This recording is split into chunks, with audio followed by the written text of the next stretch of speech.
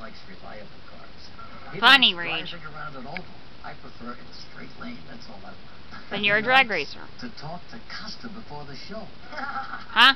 I'm not saying anything more than that. Ladies and gentlemen, NASCAR superstar Brian Vickers, right there. This should be fun. Brian started all his racing thinking he was eight years old, right? And went on to, to win 80 go-kart races around the country from age 9 to 13. That's how it all began. Really? You've done your homework. Yeah, it looks great. It looks like a great way to go. And then in high school, you you, you won some Bush-like uh, contests as well. Yes. Uh, Bush I like was- I- contest? I started at 18 and then I finished at 19 in the, uh, the Busch Series Championship Mhm. in 2003. Yeah, good for you. But right now, you've been through a tough month with news you have uh, to miss the remainder of the season because of a uh, blood clot in your right calf. How do you feel right now? How are you doing? Well, I feel like I could drive a race car, but unfortunately I can't. Mhm. Um, you know, I, I- I feel great. Uh, I'm obviously frustrated uh, to be in the race car. Um, it's I've been through this before. Mhm. As my, my parents always told me, never give up. You just gotta keep fighting. So you're not going to retire right now. You'll wait and see what happens. Of course not, Rage. Um, no, I mean, you know, we're gonna, I'm gonna do three months of anticoagulation, and I'm expect to be in a car for Daytona and race for a championship next year. Good for you. I, uh, I actually, the first time I went through this, I went through, uh, I took uh, Coumadin, which is a bit of a finicky drug, and this time I'm actually on Xarelto, which is fantastic. It's just, you just take it every day, you don't have to monitor it. I feel great, uh, no side effects, and Fine. You look Okay. I, I, I mean, I, I rode a bicycle here, so. I Did feel, you really? Yeah. That's good. great. You didn't take the cab to our studio, huh? No, Just got on a bike and, and, and you got here. Yeah. And how was that? It was excellent. I love riding in the city. It's a lot of fun out there, isn't it? It is. It's an amazing city. Oh, oh, there it is. Oh, wow. Uh, Really fast. Funny. I pedal so fast. Sure do. And distorting my view. There we go. I always wonder why. I wonder why I broke a sweat. I don't realize I was going to. That's, you know, Hmm. it is kind of a hazardous thing to ride a bike in the city. I do it all the time I ride to work, but uh, how does it compare to the uh, adrenaline of NASCAR? You know, it depends on where you're at. On the West Side Highway, I find it's a peaceful, comfortable ride. If you're going down Fifth, which I like, Yeah. you come right into the miniature Arc de Triomphe in Washington That's Park. right. It's like finishing the tour. Exactly. That's a bit more hectic. I've never thought of it that way. Um, big Sprint Cup race coming up this weekend in Talladega. How do you see this shaking out? Hey.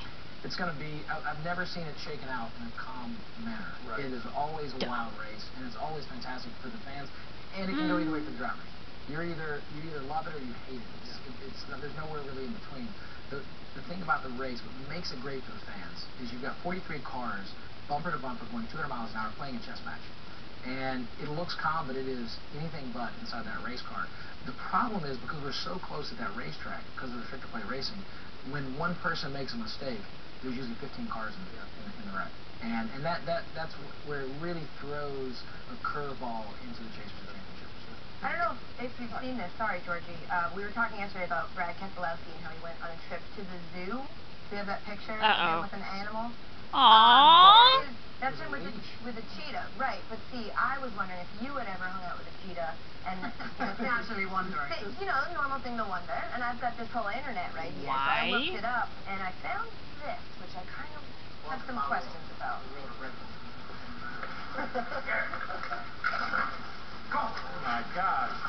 Why would you do that? Uh, my main question is, what is wrong with you? Why did you do that? I just said that. Um, I did. I think she let me because she seemed a bit faster than me at the moment. Um, but but I, I found her at the grill. We were grilling out that, that afternoon. It, it's a friend's cheetah. Um, Okay. Are you friends with cheetah? Mike Tyson? No, no, it was, it was a friend of mine, Fuzzy, and, and, and we were in Riyadh in Saudi Arabia. And um, Hmm. and, and and she's a sweetheart. She's a she's a great cat. Now. Until she eats you. And yeah, she, she, she's a sweetheart until she's not. Yeah. But but I, I don't think I was in the mindset to really think through those kind of things at, Right. at that time. Right. I, But I think just- I know what you're I I was think you having- like an adrenaline rush, don't you? We were talking about skydiving before we came on. I, I, you could say that. Yeah? What is, it, what is it about skydiving? We were talking about whether you skydive into a racetrack before, which you have done. There we go. Oh, this is you in action. That is me jumping to Daytona. Yeah, I've um, I have a boring life. I, I hit my mark. I mark. know, right? So I I I, I kind of felt yeah I fell right there. Um, Yeah. that was the grass was wet. to My defense. I typically don't do that. I went through a tree once. You That- should have bought a, a pair of my cleats. To... If I, I mean, if I had cleats, I would have been fine. The grass was wet. I, Mm, you know, but it, I, I love it. I, I love skydiving. It's been a, a passion of mine, and uh, that the, jumping in the Daytona was one of the coolest jumps. I mean, that's my one of my favorite racetracks. That's good. You're going to need something stronger than cleats for this next segment. It's Michael Costa with his questions out of Olympics. Okay. I don't watch this show that often, so I don't know what the case is. With these two. What about you, Kurt or Kyle Busch? For what? yeah, really. That's an answer. Where do you keep your spare tire? I don't have one. You don't have one. Are you happy the government's back open? I didn't notice a difference. And what are you dressing up for for Halloween? That is a great question. All right. Well, you got to come up with an answer. I guess we'll have to do that another time. Back to you, George. Uh, okay. very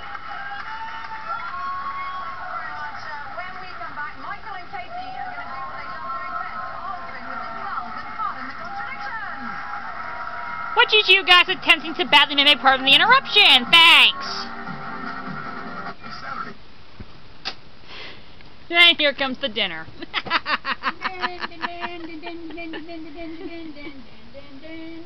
Thanks. Well, everybody knows that I don't really approve of Brian Vickers, but I don't approve of this illness either, so I do hope he does get well soon. Now, it's, he has the blood clots again. Yeah. So, in other words, it's time for dinner now, and I hope you guys enjoyed this bonus footage I captured for you. Yum, yum. Time for dinner.